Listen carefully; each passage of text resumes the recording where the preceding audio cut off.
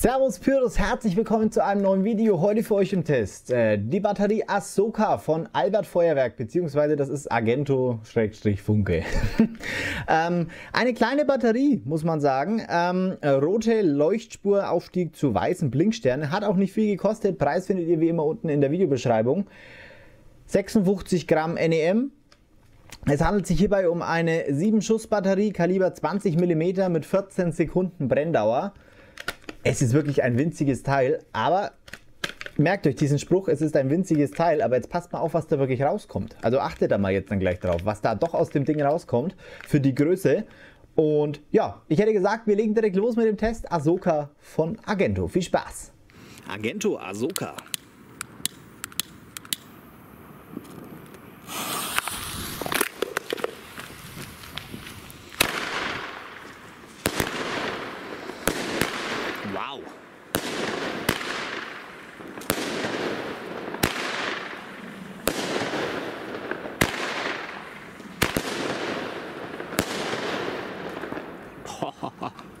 Krass, wie riesig diese Bouquets einfach sind. Für die Größe an Batterie der absolute Wahnsinn.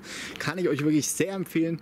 Ich hoffe, euch hat das Video gefallen. Dankeschön fürs Zuschauen. Bis zum nächsten Video. Ciao, macht's gut.